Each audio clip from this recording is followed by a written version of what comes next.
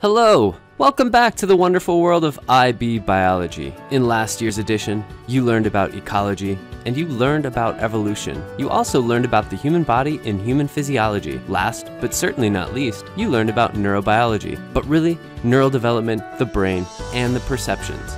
We will start this lecture with a quick quiz about the parts of the eye. Name all the parts of the eye in alphabetical order. Extra credit if you can do it while standing on your head.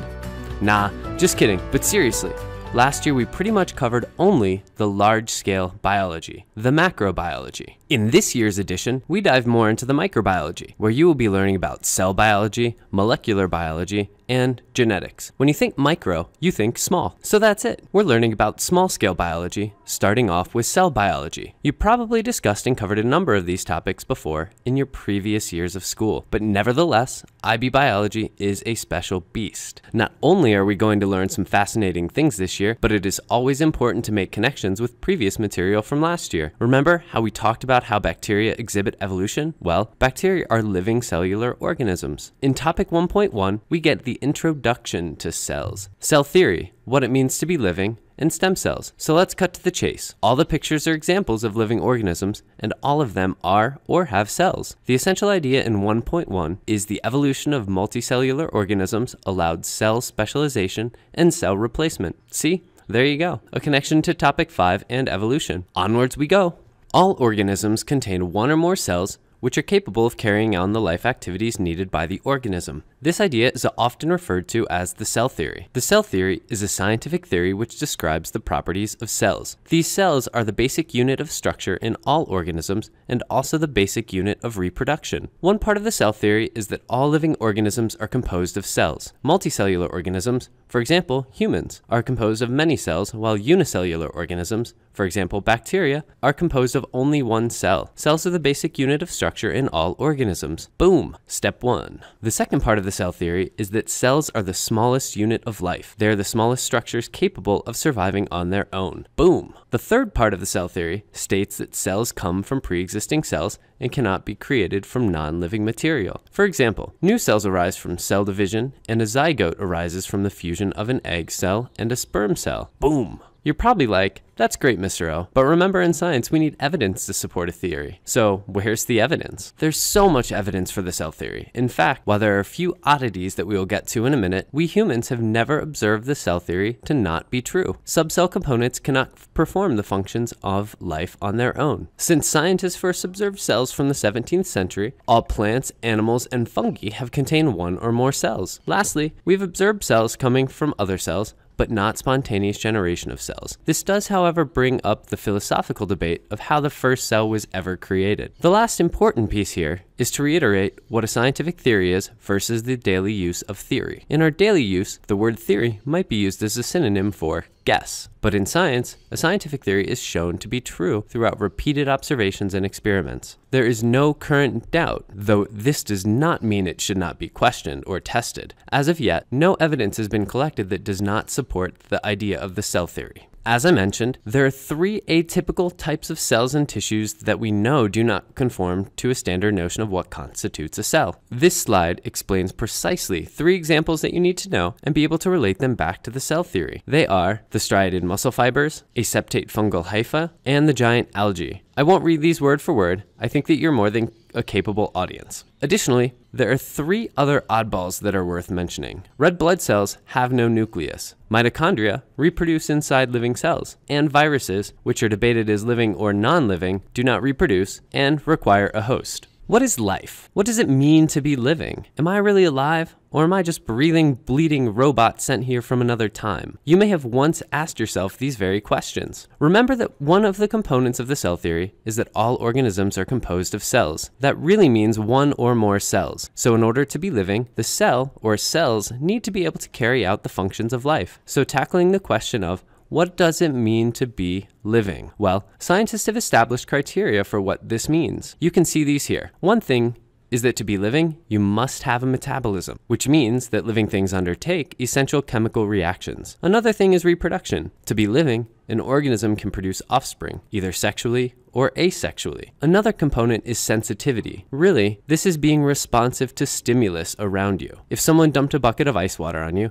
you probably would have a reaction. Another characteristic of all living things is homeostasis. Living things maintain a stable internal environment. We learned a lot about this last year in Topic 6 during Human Physiology. Another one is excretion. Living things exhibit the removal of waste products. Maybe you have heard of best-selling kids book Everybody Poops. Well, everybody and everything that is considered living poops. Sixth in these characteristics is nutrition. Living things exchange materials and gases with the environment. Once again, the tie to topic six in human physiology that we have seen in the past is here. Last but not least is growth. Living things can move and change size or shape. While I know some organisms that do not move a lot, they still move and change size.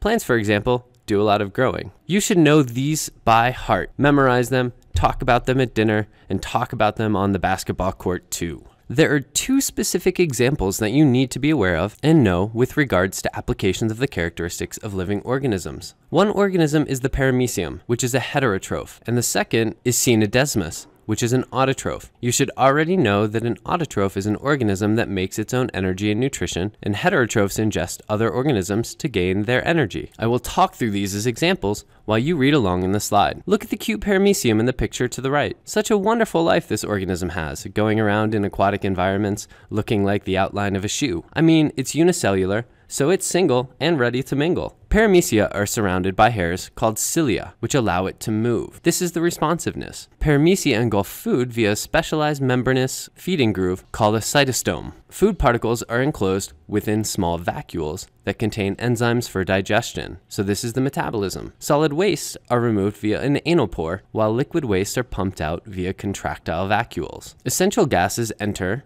and exit the cell via diffusion. Paramecia divide asexually, although horizontal gene transfer can occur via conjugation, which is a method of reproduction. It sounds pretty cool if you ask me. For the Scenedesmus, they exchange gases and other materials via diffusion. They have chlorophyll pigments, which allow organic molecules to be produced via photosynthesis. Daughter cells form, as non-motile autospores via the internal asexual division of a parent cell. And Scenedesmus may exist as unicells, so one cell, or form colonies for protection. So I mentioned to you at the beginning that cells are really microbiology. Scientists have tools to study small organisms. The typical tool is the microscope. You can see that you definitely have some skills that you need to work on and practice related to the microscope. You definitely should know the parts of a light microscope and how these parts function. You should be able to calculate the magnification of whatever image you are looking at and be able to draw the depictions of what you're looking at. You also need to be able to use and make slides to look at. These skills are not overly complex or hard, but they do require practice. The magnification calculating is probably the trickiest, but with some dedication and practice, you too can become a master of the microscope. You will definitely be practicing this skill over the coming time. For all living things, both unicellular and multicellular, they all have cells. These cells have to exchange gas and food molecules into the cell and waste products out of the cell. So if you can imagine a large cell, it will be tricky to get everything to the middle of that cell. If you recall from geometry, the surface area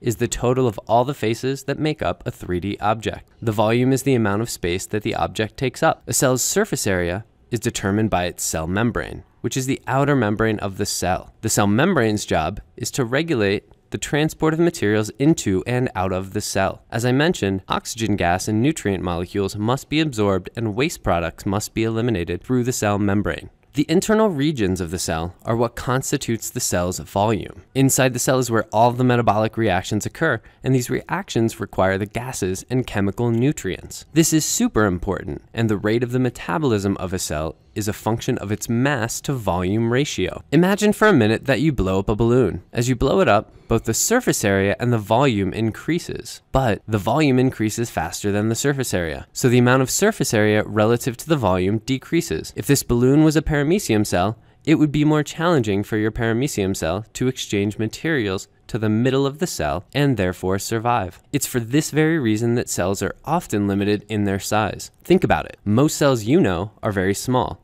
many microscopic. Typically, when a cell reaches a certain size, it has challenges sustaining itself, and stimulates cell division through the process of mitosis or binary fission. By dividing, the size of the cell is reduced, and this keeps the cell within the optimal surface area to volume ratio. You'll be using cubes as models to demonstrate this exact concept with a dye to see how quickly the dye will diffuse. But as you know, cells can be pretty sneaky and they have adaptations that have enabled them to increase the surface area with respect to the volume. You can see two specific examples here, the villi in the small intestine and alveolar cells in the lungs. Both of these have bristle-like extensions called microvilli. Other adaptations include long extensions of the cell membrane in dendritic cells of the immune system, neuron cells, and epidermis cells in roots of plants. Some cells flatten themselves out to maximize the surface area. Red blood cells, pneumocytes in the lungs, and epithelial cells in capillaries are adapted in this way. As the name suggests, the main difference between multicellular and unicellular organisms is the number of cells that are present in them. Unicellular organisms are one single cell that functions on its own. An example would be a paramecium or a bacteria. Multicellular organisms contain one or more cell. An example of this would be Nelly the giraffe or humans. Multicellular organisms are capable of completing functions that unicellular organisms could not undertake. This is due to the collective actions of individual cells combining to create new synergistic effects. That's a fancy word. Emergence only occurs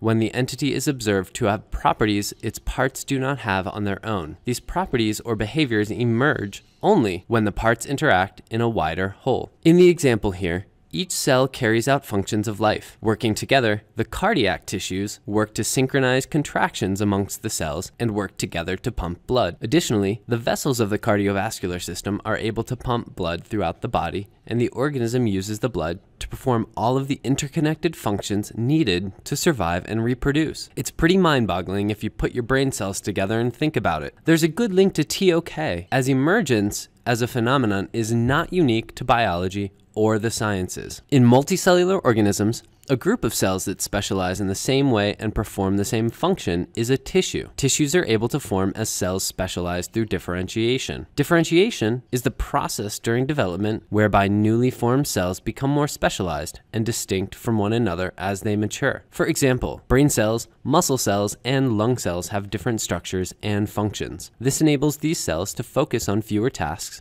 and do the work more efficiently while saving energy. They can also have specialized structures and metabolism. As they do one or very few things all the time, they can evolve faster in that particular task. That's why multitasking is bad for you kids. So how does this differentiation happen? I mean, almost every cell has a nucleus, and that nucleus has the same exact genetic codes. So you would think that every cell would be the same. Not so fast. Differentiation is due to the differences in gene expression in different cell types. Maybe one gene will be turned on for one cell, but for another cell it will be kept off. You will learn later that in gene expression, a sequence of DNA, which is called a gene, is transcribed and translated so a protein can be formed. Within the nucleus of a eukaryotic cell, DNA is packaged with proteins to form chromatin. Active genes are usually packaged in an expanded form called euchromatin that is accessible to transcriptional machinery. Inactive genes, the ones not being used, are typically packaged in a more condensed form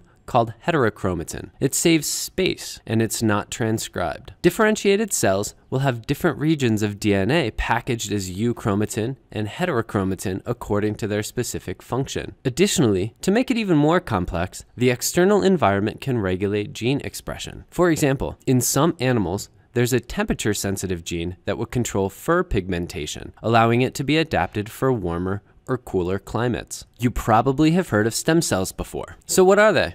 Well, a stem cell is an undifferentiated cell that can do two things. They can divide indefinitely to create more stem cells, which is known as self-renewal, or they can differentiate to become a specialized cell type in a multicellular organism, which is called potency. Remember the terms zygote and embryo. A zygote is a cell that results from a sperm fertilizing an egg. These cells of a zygote can differentiate into any body cell or even the placenta. Because they can do this, they are called totipotent stem cells. You know, like totally potent. The embryo is a short time later in development and consists of a blastocyst outer layer and an inner cell mass. The inner cell mass are called embryonic stem cells. They are capable of differentiating into any body cell. So they're called pluripotent. I mean, really, they can grow up and be pretty much whatever they want to be. Both totipotent and pluripotent stem cells are the most prevalent in the early embryonic development. This is because they have differentiated the least, and more cell divisions are necessary in order to begin growing and specializing. Think back to health class and seeing the video clips of human development in utero. There are other types of stem cells as well. Multipotent stem cells are found in the gastrula and also known as adult stem cells and can differentiate into number of closely related cell types. Unipotent stem cells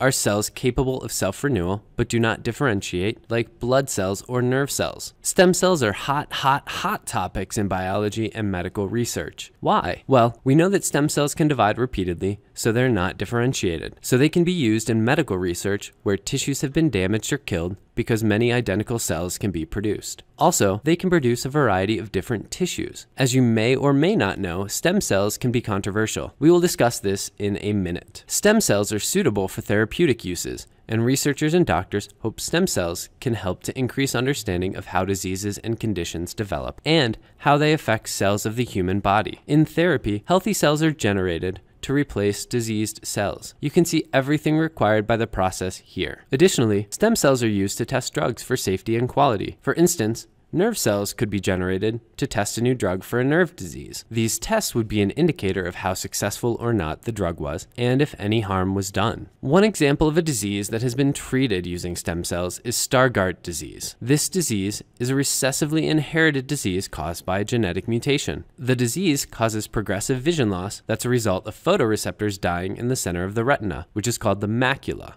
And in the macula, the fovea is a part of this. While peripheral vision remains intact, the central vision deteriorates. To treat this disease, stem cells are differentiated to become retinal pigment epithelium cells, which is a cell layer lining the back of the eye. These nourish and support other cells. In human trials, the implanted cells have restored the central field of vision. Stargardt disease is an example that you need to know. You also need to know another example, and you can see a couple of them here. One that I'm going to highlight is the leukemia. Additionally, leukemia is another disease that's been treated using stem cells. Leukemia is a blood cancer where white blood cells, or leukocytes, begin to grow and function abnormally, becoming cancerous. These cells are no longer able to fight off infection, and they interfere with other organs. In treatment, typically the bad leukocytes are killed in chemotherapy, and the patient receives a bone marrow transplant. This bone marrow contains multipotent stem cells that hopefully will form healthy blood cells to replace the abnormal cells. The use of stem cells in treatments is a fascinating and burgeoning field,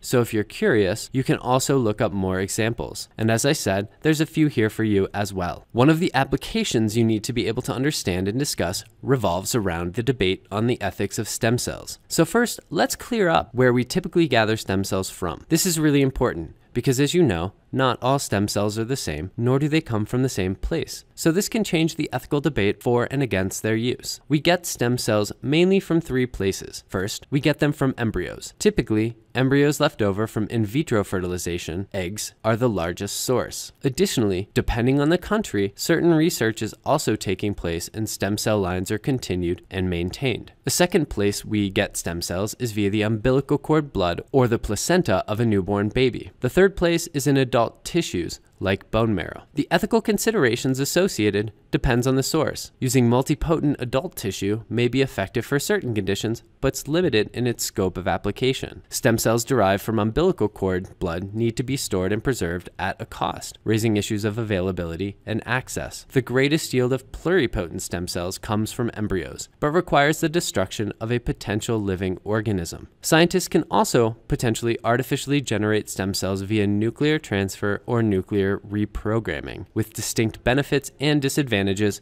which you can see in the chart. The last slide here is a set of arguments both for and against the various types of stem cells and their use. Like all debates, it's important for you to take your own personal considerations, morals, and values into consideration. However, regardless of your position, it is also very important to understand all of the perspectives. So have a look at this slide, and I encourage you to learn more. As this technology continues to improve and more uses are found, you may find yourself having to make a decision one day to save your own child's umbilical cord blood or undergo stem cell treatments. That's all I got. So as we begin to talk about cell biology, Make sure to use this video as a reference and be sure to take lots of selfies to show that you are studying. Get it? Selfie? As always, it's really important to give credit where it's due. While the presentation, script, and video are solely of my own creation, many of the images and information contained in the presentation are not. So shout outs to the following. Most of the images and video clips come from IB Bio Ninja and some of the information used. Other images and info come from Biology for Life, Bioknowledgy, iBiology, and others. Lastly, some information was gleaned from the Cambridge edition of the IB Biology text, as the intended purpose of this presentation is to provide you with yet another resource tool to enhance your learning for the IB Biology curriculum, and this presentation should be used under and with a Creative Commons Attribution license. So peace out.